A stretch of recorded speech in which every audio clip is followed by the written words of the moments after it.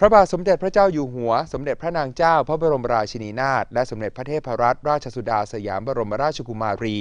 เสด็จพระราชดำเนินไปทรงเปิดพระบรมราชานุสาวรี และทรงบำเพ็ญพระราชกุศล ทักกานานุปทาน ทรงอุทิศถวายพระบาทสมเด็จพระปรเมนทรมหาอนันทมหิดล พระอัฏฐมราธิบดินทร์ณพระบรมราชานุสาวรีเชิงสะพานพระราม 8 โดยรถยนต์พระที่นั่งจากโรงพยาบาลศิริราช เสด็จไปยังพระบรมราชานุสาวรีย์โดยมีประสบกนิกรเปล่งเสียงคำว่าทรงพระเจริญกึกก้องตลอดเส้นทาง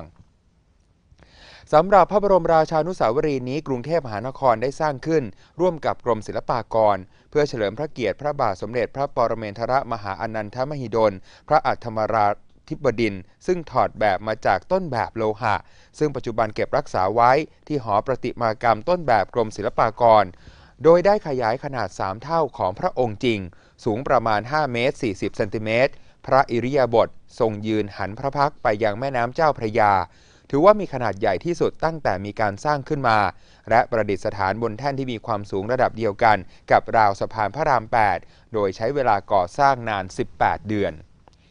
นอกจากนี้กรุงเทพมหานครยังจัดทำภูมิทัศน์ให้เป็นสวนสาธารณะสำหรับประชาชนที่มาแสดงความเคารพ และให้เป็นพื้นที่พักผ่อนหย่อนใจ บนพื้นที่กว่า 35 ไร่ โดยก่อสร้างสวนแห่งนี้ไปพร้อมกับการก่อสร้างสะพานพระราม 8 ในปี 2543 และเปิดให้บริการประชาชนได้ในช่วงปี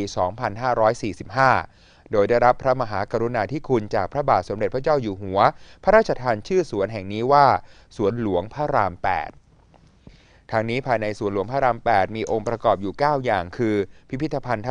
สถานสะพาน พระราม 8 ศาลาพักผ่อน 8 เดี่ยม ศาลานั่งเล่นริมน้ำ เวทีกลางแจ้ง ศาลาท่าเรือ ห้องน้ำสาธารณะ สะพานพระราม 8 อาคารพระบรมราชานุสาวรีย์และพระบรมราชานุสาวรีย์พระบาทสมเด็จพระปรเมนทรมหาอนันทมหิดล พระอัฏฐมรามาธิบดินทร์